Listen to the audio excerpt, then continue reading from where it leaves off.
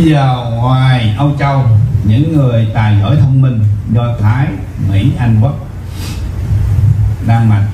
Ý, chỉ có Á Châu thông minh, nước Mỹ này là không của ai, của mọi già đỏ. Đúng không? Thì sau này Á Châu thành cường quốc, chỉ có cạnh tranh với Trung Cộng. Nhật Nhật nó sẽ bị à, đại hồng thị nó cũng sụp xuống biển rồi. Trung Cộng cũng chia năm sợ bảy. Chỉ có Á Châu đó, à, người Phi Châu đâu có thể chết những con chip được. Đâu có thể chết những cái gì vụ vừa mới nói được. Muôn đời nó không làm được. Tại vì tốt của nó là à, bốn chân giờ đầu tay hai chân mà nó còn da đen mà nó mãi vậy đó. Nó bớt được hai chân đó. Cho nên chỉ có Á Châu mình. Á Châu chỉ còn những cái uh, cường địch lại thì thằng trên đầu mình đúng không? Thằng Nhật đúng không? Đài đó đúng không? À, về thằng đó có hai ba thằng thôi. Mỹ này dẹp nó qua bên đi. Tại sau này á là nội mà một Mỹ đen để ra 10 Mỹ đen giết nó bỏ phiếu rồi.